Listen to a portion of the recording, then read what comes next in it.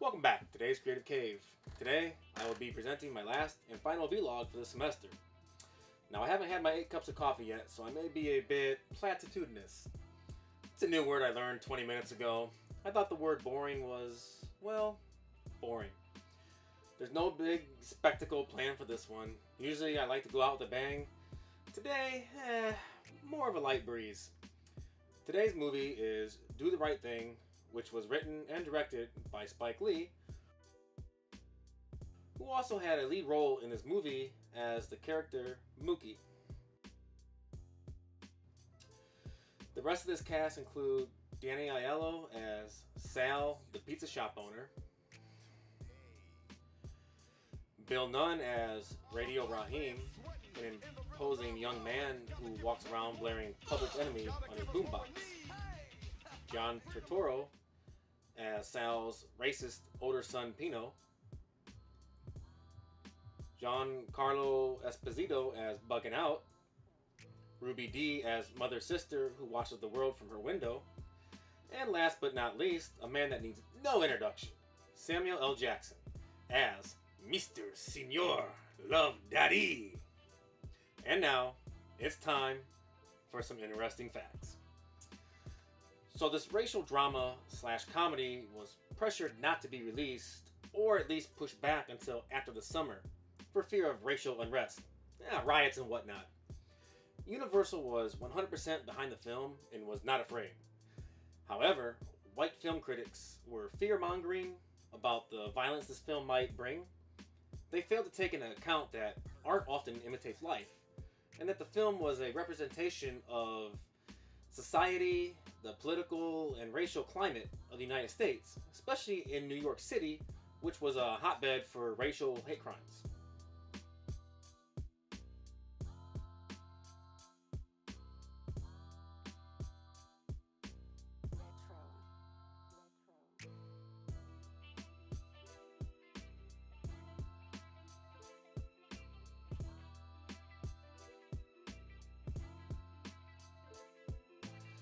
The opening kicks off with a saxophone rendition of James Weldon Johnson's Lift Every Voice and Sing, originally a poem from 1900, which eventually came to be adopted as the Black National Anthem. The clip of the song is brief and it fades away as the screen goes black. This is a small nod to film overtures of old. Now, Lee's opening title is a classic sequence and an important moment in the film.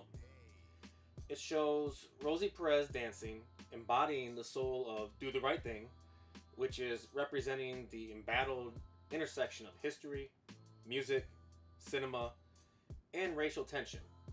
The simmering heat of it all. The dance scene was so grueling for Miss Perez that after it was all said and done, she ended up on crutches. In her dance scenes, she never smiles. That's because her on-screen anger was real. The take took place on a concrete soundstage where Lee had her do numerous takes in order to bring more passion and anger to her dancing. Her back went out, she injured her knees, and developed tennis elbow from throwing all those punches. Way more punches than we see in the movie. The scene where Mookie throws a trash can through a window was not as easy as it looked.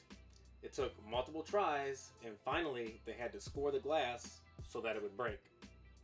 The film was partly inspired by one of Alfred Hitchcock Presents episodes, where a man was doing a study that after a certain temperature, the murder rate goes up. Well, I for one hate, hate being hot. Damn you, Florida! The film almost had a different ending. At the last minute, Paramount got cold feet and asked Lee to tone down the conflict heavy ending. They wanted Mookie and Sal to hug it out and make up while ending with the both of them singing We Are the World.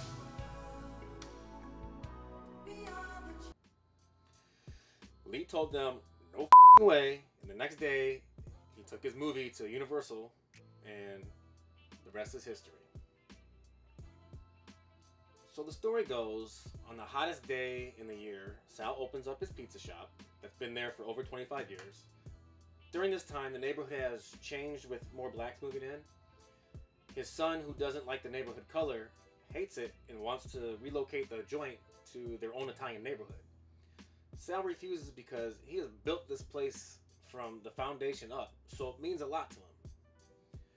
Well, one of the kids comes in, bugging out, and he starts to raise a fuss as to why all the famous pictures on the wall were of white people.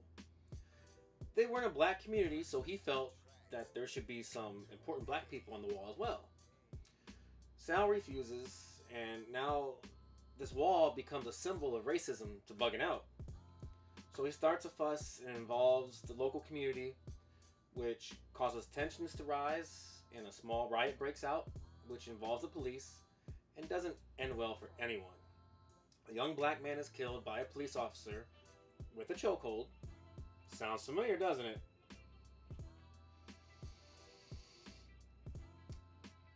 My first perception of this movie made me think it was a goofy spoof of a hot summer day, so I never bothered to watch it when I was younger. After having learned a little bit about it in my sound and image and motion class, I was intrigued to watch it. And I'm glad I did. This six and a half million dollar hit really touched on the racial problems in America that are still ongoing today. I did end up liking this movie, and after the little research I dug up, I learned some things about New York and the racism that the communities face that I never knew existed outside of TV.